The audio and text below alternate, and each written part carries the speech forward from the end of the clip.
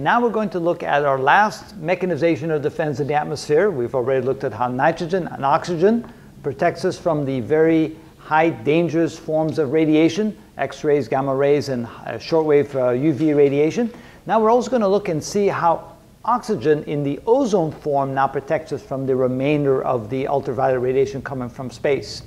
Now in the last video we showed that the enthalpy of formation for, for uh, ozone, or O3 molecules, was 107.2 kilojoules per mole, and it's an exothermic reaction, meaning it gives off that energy, which means that now if we have an O3 molecule in the atmosphere, it is now able to absorb a photon, a quantum of energy, equal to h times the frequency, and then turn that back into an oxygen molecule and an oxygen atom in the gas state like that. Now, that requires an input of energy because it's an endothermic reaction, so it requires energy. How much energy? Energy equivalent to, to this much or more in order to, or at least, yeah, per mole. So it requires this much energy per mole in order for, for that reaction to take place. Now the question is, how much is that per molecule? That way we can also calculate what kind of, uh, what kind of photon is able to be absorbed by the ozone molecules. All right, so what we're going to do is we're going to take the energy per mole and convert that to energy per molecule. So the energy for one ozone molecule separation, for the, for the dissociation of an O3 molecule, that is going to take 107.2 kilojoules per mole. And if we divide that by the number of molecules per mole, which is Avogadro's number, times 10 to the 23 per mole, then we have the energy per molecule, and let's see what that is equal to. So we have 107,200 divided by 6.02 e to the 23rd, and that gives us 1.78, 1.78 times 10 to the minus 19 joules. So what kind of photon is that? What kind of photon will allow an, an ozone molecule to be dissociated? All right, let's try to figure that out by calculating its wavelength so that the energy of a photon is equal to the Planck's constant times the frequency, which is equal to hc over lambda, keeping in mind, of course, that the frequency times the wavelength equals the speed of light. So that means that the frequency can be written as the speed of light divided by lambda, which is what we did over here. There should be a lambda symbol. There we go, the wavelength. That means that we can find out the wavelength to be equal to hc over the energy of the photon, which we just calculated Right here, this is the energy for a single photon that an ozone molecule can absorb. So this is equal to 6.626 times 10 to the minus 34. That's joules times seconds.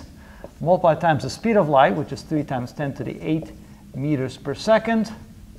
And divide the whole thing by the energy of a single molecule, which is 1.78 times 10 to the minus 19 joules.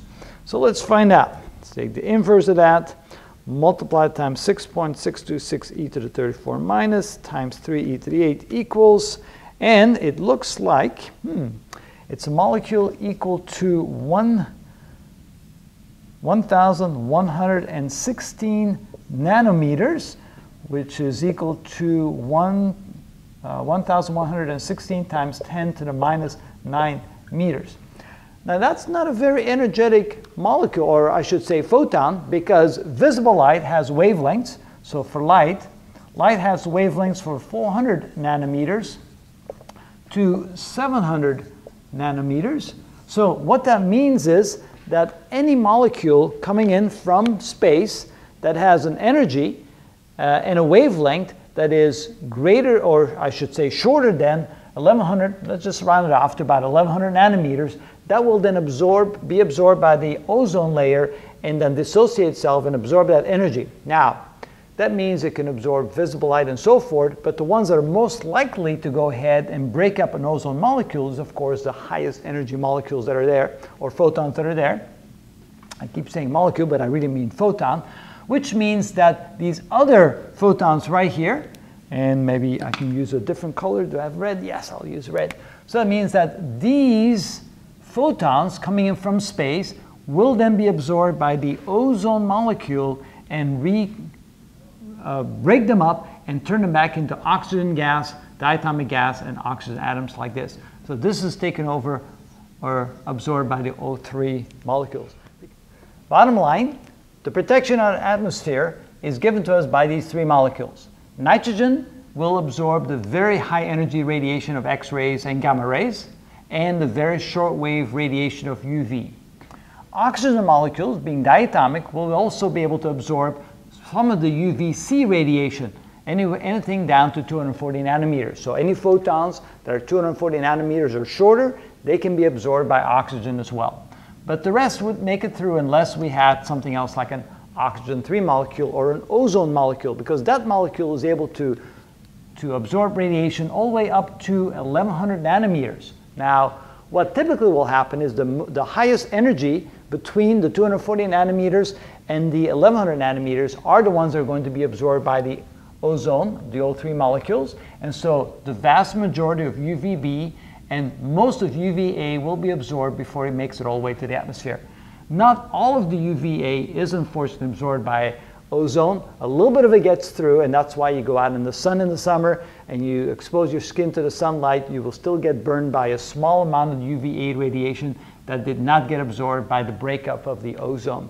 But nevertheless, the fact that we have ozone in the atmosphere, especially way up high in the tropos, in the uh, stratosphere, all the high energy UV radiation coming in will either be absorbed by oxygen or, or predominantly from the ozone molecules. And that's how that works.